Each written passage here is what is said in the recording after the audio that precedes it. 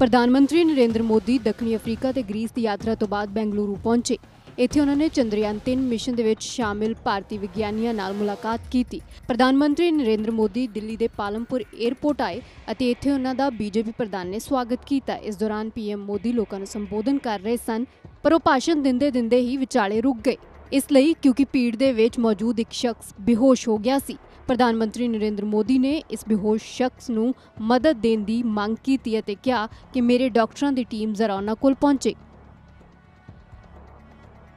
पर होगा हिंदुस्तान में होगा पूरा भारत यजमान है लेकिन मेहमान तो दिल्ली आने वाले हैं उनको जरा मेरी डॉक्टर की टीम जरा पहुंचे मेरे साथ जो डॉक्टर हैं, जरा देख लें इनको।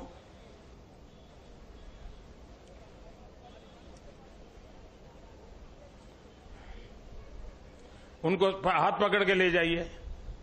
बिठा दीजिए कहीं और जूते वगैरह खोल दीजिए।